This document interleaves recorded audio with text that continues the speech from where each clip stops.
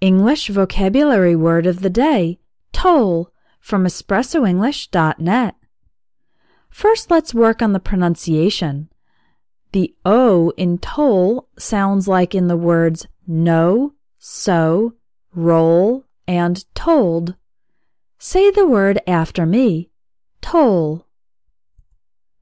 The word toll refers to a fee, that's an amount of money that you pay in order to drive on highways or bridges. The place where this money is collected is called a toll booth. In the picture on the left, you can see an old picture of a toll booth when the toll was just 10 cents. The picture on the right shows a modern toll area. Nowadays, you can pay the toll in cash, credit card, or with a special electronic device that stays on your car. Another expression you might hear is the death toll. That's the number of people who died in an attack or disaster. For example, the death toll from the earthquake is currently above 2,000.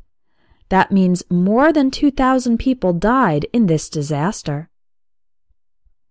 We have another expression, take a toll on something.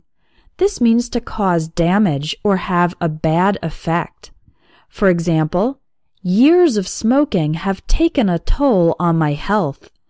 That means my many years of smoking have damaged my health. The economic crisis is taking a toll on developing countries. Again, taking a toll means it's having a bad effect on those countries. So now you'll recognize the word toll when you hear it in English.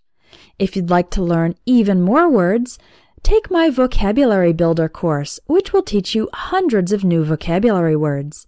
Click the links in the video to take some free sample lessons.